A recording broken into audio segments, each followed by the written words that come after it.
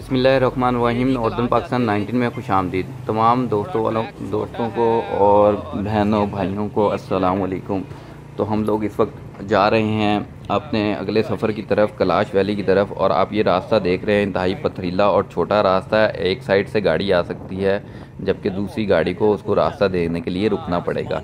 जबकि आप अगर आप फैमिली के साथ आएँ और गाड़ी पर आएँ अपनी तो आप यहाँ पर अपनी गाड़ी पर भी आ सकते हैं बसानी से और बड़े आराम से आप लोग कैलाश वैली में घूम फिर सकते हैं। ये वीडियो बनाने का मकसद ये है कि आप लोग की यहाँ तक रसाई आसानी से हो जाए और आप अपनी गाड़ी पर भी यहाँ पर बसानी आ सकते हैं। आपको ज़रूरी नहीं है कि आप वहाँ से लाहौर से आएँ तो आपको यहाँ पर आकर फ़ोर बाई फ़ोर का इस्तेमाल करना पड़े। नहीं, आप अपनी गाड़ी यहाँ पर ले जा सकते हैं। अगर तो कोई मौसम की सूरत हाल ख़राब नहीं है, क्योंकि जो मौसम की इस वक्त सूरत हाल है, वो बहुत ज़्यादा ख़राब है। मुझे ऐसा लगता है कि काफ़ी बारिश हो सकती है।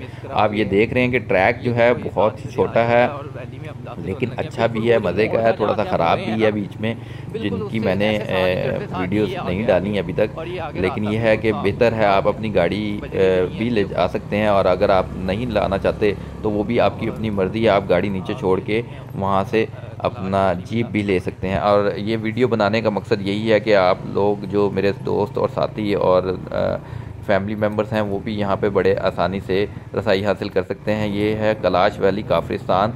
काफरिस्तान इसको इस वजह से कहा सकता कहा जाता है क्योंकि इनका रीत रवाज बहुत ज़्यादा मुख्तलिफ़ है पाकिस्तानियों से। क्योंकि इनमें कोई अगर कोई मर भी जाता है तो ये लोग उसको चरपाई समेत ढोल की ठाप से वहाँ पर छोड़ कर आते हैं, जहाँ पर इनके सारे लोग मौजूद हैं जो मरने के बाद वहाँ पर छोड़, जहाँ छोड़ते हैं। तो ये देख रहे हैं कि अभी जीप गुजरी है, हमें उसको रास्ता देना पड़ा है एक साइड से और ये मड जो है माउंटेन है, मड का पहाड़ है, ये किसी टाइम भी स्लाइड भी कर सकता है और ये रास्ता ब्लॉक भी हो सकता है। इसलिए यहाँ पर जो है कोशिश करें कि मौसम की सूरत हाल देख कर ही एंटर हों या फिर किसी गाड़ी वगैरह के साथ आप आप भी आ सकते हैं।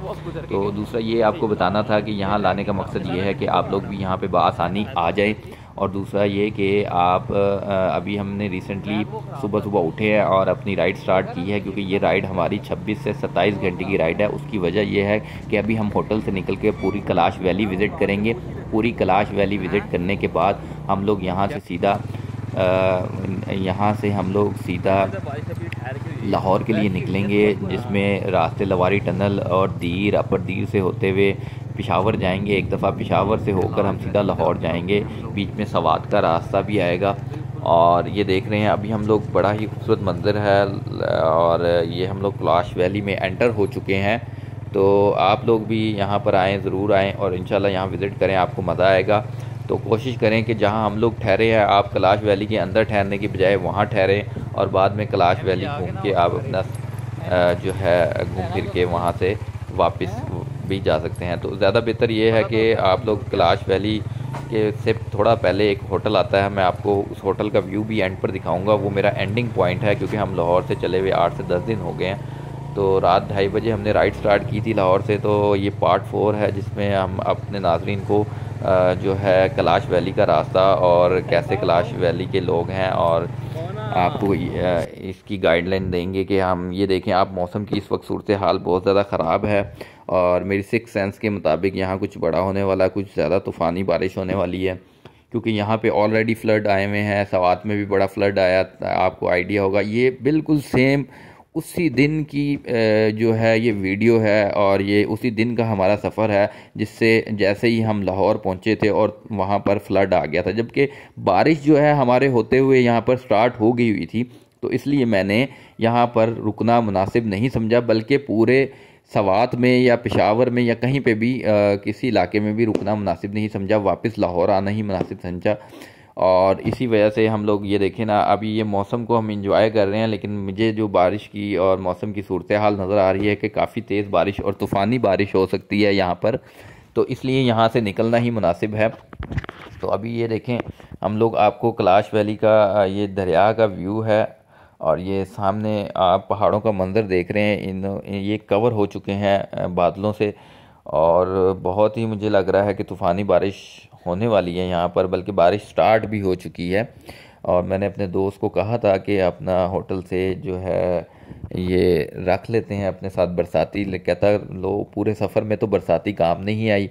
तो अब काम आएगी। मैंने कहा, बिल्कुल, यही टाइम है बरसाती काम आने का। लेकिन उसने मेरी बात नहीं मानी और वो बरसाती हम लोगों ने अपनी वहीं होटल पर छोड़ दी और हमें फिर बारिश का सामना करना पड़ा और काफ़ी तूफ़ानी बारिश का सामना करना पड़ा और फिर भी हम लोग राइड करके अपने होटल में वापस आए और अपना सामान पैक किया और उसी बारिश में हम लोग लाहौर के लिए निकल गए हैं। क्योंकि वो आ, कुछ आइडिया इस तरह का था कि यहाँ पर रुकना कहीं पे भी मुनासिब नहीं है फ्लड का ख़र्चा है अब बारिश जितनी तूफ़ानी थी। अभी अभी ये देखेंगे इस वक्त हम लोग इसके एंडिंग पॉइंट पर हैं कलाश वैली के इससे आगे बल्कि हमें लोगों ने भी बताया कि आप आगे ना जाएँ, आगे कुछ भी नहीं है, बस आप लोग यहाँ से घूमें और यहीं से वापस चले जाएँ। तो यहीं से वापस जाना ही मुनासिब समझा, ये एंडिंग पॉइंट है कैलाश वैली का, आप देख रहे हैं। तो यहाँ से आगे हम लोग नहीं गए और हमने जाना भी मुनासिब नहीं समझा, हमने मौसम की सूरत हाल को मद्देनज़र रखकर वापसी का सफ़र शुरू कर दिया। तो ये देखें आप कैलाश से वापस जा रहे हैं हम लोग। ये हमारा सफ़र स्टार्ट हो गया वापसी के लिए। तो ये जब कैलाश वैली से हम निकल कर बाहर आएँगे तो हमारा होटल थोड़ा सा बाहर है, की साइड पे है, क्योंकि हमें रात लेट हो गए थे, आठ बज गए थे राइड करते हुए। तो मैंने भी दिन के टाइम पे जो है ये होटल देखा था और थोड़ा सा हम आगे गए हैं, लेकिन उसके बाद हम लोग वापस इस होटल में आ गए थे। और मुनासिब यही समझा कि यहाँ पर स्टे करेंगे और फिर सुबह अगले दिन निकलेंगे। ये देखें जी, हमारे होटल के मंजिल से दो आबशारें गिर रही हैं, सामने से छोटी छोटी और बहुत ही प्यारा होटल है। एक अकेला होटल है यहाँ पर। मुनासिब रेट है। अच्छा अच्छा खाना बनाते हैं। और आपकी खिदमत भी करेंगे बहुत अच्छी। ठीक है, आपको फ़िश भी खिलाएँगे, आपको जो है वो मटन भी खिलाएँगे, वो भी जो है तिक्के मटन के हैं। वो हमने रात को यहाँ पे तिक्के भी मटन के खाए हैं और बड़ा ही मज़ेदार मसाला लगा हुआ था। और ये हमारा होटल का पॉइंट है जहाँ पे हमने स्टे किया हुआ था। अभी इसका मैं आपको फ्रंट से नज़ारा दिखाता हूँ कि फ्रंट से ये किस तरह का बना हुआ है और कैसा इसका व्यू है और इसका इसकी लुक कैसी है होटल की। आप यहाँ पर आ, फैमिली को बड़े आसानी से ला सकते हैं। यहाँ पे कोई खिचड़ी नहीं पक्की हुई कि बहुत ज़्यादा होटल्स हैं और फैमिली लाना मुनासिब नहीं। सबसे ज़्यादा बेहतरीन पॉइंट फैमिली को ले जाने के लिए और कैलाश वैली में स्टे करने के लिए यही है। यहाँ पर आप अपनी बासानी फैमिली ला सकते हैं।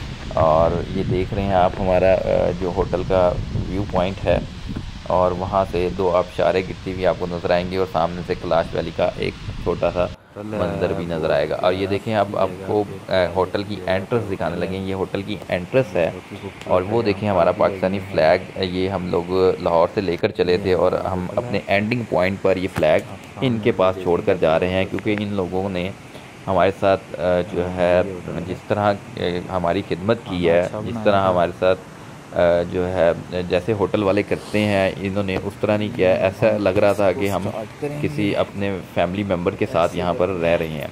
तो कोशिश करें कि ये होटल आपको नज़र भी आ जाएगा आपके राइट साइड पे आएगा। अभी हम लोग निकल चुके हैं और ये लवारी टनल की जानब है। लवारी टनल जो है लवारी टनल में आपको एंटर नहीं होने दिया जाएगा क्योंकि जो वहाँ की इंतज़ामिया है, उन्होंने पाबंदी आयद कर दी है। कुछ हादसा होने की वजह से या कुछ ठंड ज़्यादा है या ऑक्सीजन लेवल आउट हो जाता है, सांस गुम हो जाता है, जिसकी वजह से इंतज़ामिया ने इस पर पाबंदी आयद कर दी है।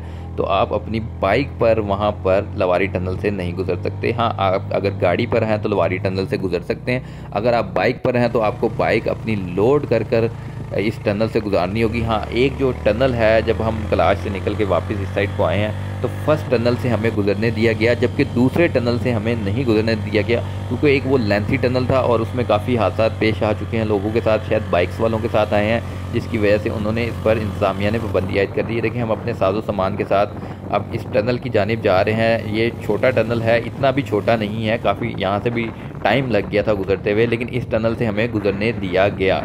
इस टनल से हमें गुजरने दिया गया, जबकि इसके अगले टनल से हमें नहीं गुजरने दिया गया। हमें वहाँ पे 20 मिनट, आधा घंटा वेट करके एक एक, जो है पिकअप आई थी, जिसमें हमने अपनी गाड़ी और सामान लोड करके उसमें बैठ के गए हैं, क्योंकि यहाँ पे इंतज़ामिया ने पाबंदी आयद कर दी। देखें, ये फ़र्स्ट टनल है, इसमें से हमें गुजरने दिया गया। ये जब आप अगर इधर से कलाश से जाते हुए आएँगे तो इस टनल से गुजरने दे देंगे। जब इससे अगला टनल आएगा तो वहाँ से आपको गुजरने नहीं देंगे। जबकि आप वहाँ से अगर आ रहे हैं कुमराट से या दीर से आ रहे हैं तो वो टनल पहले आएगा तो आपको वहाँ पे गाड़ी में रख के ही बाइक लानी पड़ेगी और उसकी वो फ़ीस लेते हैं और वो मेरा ख्याल ज़्यादा से ज़्यादा हज़ार रुपया ले लेंगे वन थाउज़ेंड ले लेंगे आपकी गाड़ी का और आपको यहाँ छोड़ने का टनल में से निकालने का। तो टनल वाकई ही बड़ा खौफनाक और बहुत ज़्यादा ठंड है। यहाँ पे मुझे इतनी ज़्यादा ठंड लग रही थी इस टनल में से बाइक चलाते हुए क्योंकि इस वक्त बाइक मैं खुद ही चला रहा हूँ और मुझे टनल में बहुत ठंड लग रही है। तो जो है ये देख रहे हैं आप टनल बहुत ही खौफनाक और ठंडा है और बहुत गहरा है और अंधेरा भी बहुत ज़्यादा है डार्कनेस ज़्यादा है लाइट्स ऑफ़ हैं। दोस्तों इन फिर हमारी अगली वीडियो में मुलाकात होगी और हम इस तरह के रास्ते आपको दिखाते रहेंगे। ये हम लोग सवार की जानब हैं इस वक्त वापसी के लिए, और हम यहाँ से पिशावर होते हुए सीधा लाहौर चल जाएँगे तो मेरी दोस्तों से गुजारिश है कि हमारे चैनल को लाइक कर दें, शेयर कर दें, और सब्सक्राइब भी कर दें। Thank you so much. अल्लाह हाफिज़।